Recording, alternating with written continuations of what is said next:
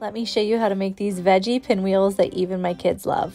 In a bowl, soften some cream cheese and then add in sour cream and ranch seasoning.